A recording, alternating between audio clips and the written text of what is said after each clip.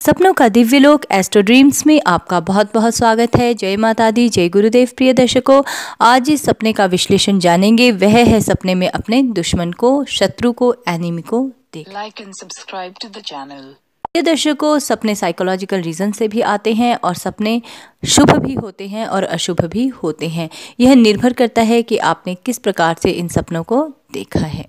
पहले हम psychological reasons को जान लेते हैं, जिनके कारण हमें दुश्मनों के सपने आते हैं। जिन लोगों से हमारी बनती नहीं है, या जिन लोगों से हमें बहुत ज़्यादा घृणा है, जब हम उन्हें कभी देखते हैं, या किसी से उनके विषय में बात करते हैं, या उनकी वजह से कोई हमें प्रॉब्लम आ रही हो, और वह बात हमारे मन में रह जाए, तब भी इस प्रकार के सपने दिखाई देते हैं। या जिनसे हमें डर हो कि ये हमारा बुरा करेंगे तो भी हमें सपने में वो लोग शत्रु के रूप में दिखाई देते हैं।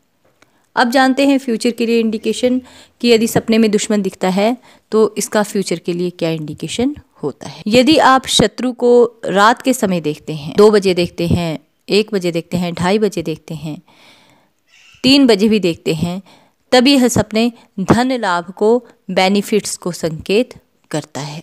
अगर आपको ये भी दिखाई दे जाता है कि आपके शत्रु ने आपको गोली से मार दिया, उड़ा दिया आपको आप मर गए, तब भी ये सपना शुभ होता है। धन लाभ की प्राप्ति होती है।